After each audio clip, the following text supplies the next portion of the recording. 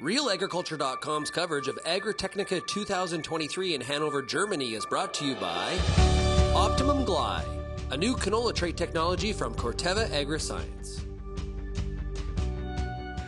Shaun Haney here with Real Agriculture. We're at Agritechnica 2023, brought to you by Optimum Gly, a new canola trait technology from Corteva Agriscience.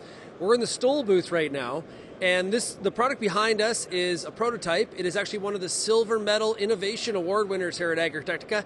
And joining us right now is Torben from Stoll. Torben, great to meet you.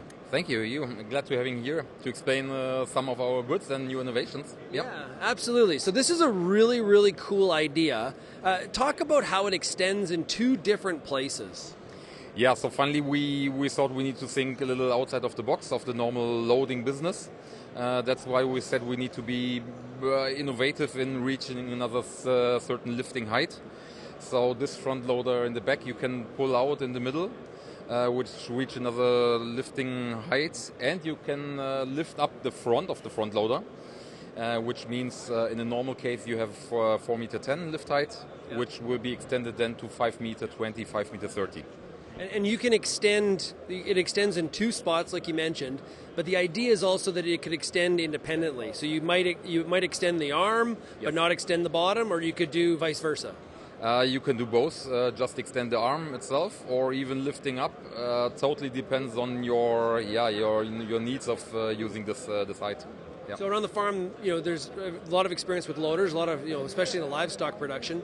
Uh, what kind of size of loader would this be typical for? Uh, it should be on uh, tractors from 130, 40 horsepower up to 200.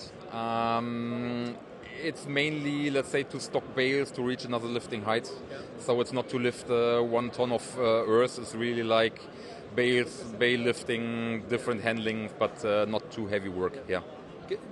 With it extending in two spots and getting really out there, I can imagine having to put some extra weight on the back of the tractor.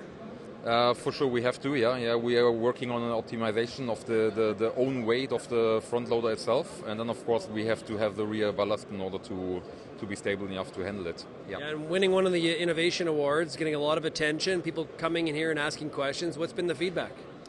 Uh, everybody has been quite positive, so we were surprised about a customer coming here uh, yesterday on the pre-day. So everybody's uh, interested in seeing news and especially news of, uh, of Stoll, um, what we did the last two years. So, absolutely positive. Well, very cool stuff. Well, thanks so much for joining us and good luck with your rest of Agritechnica. Thank you very much. Thank you. Thank you for the interview.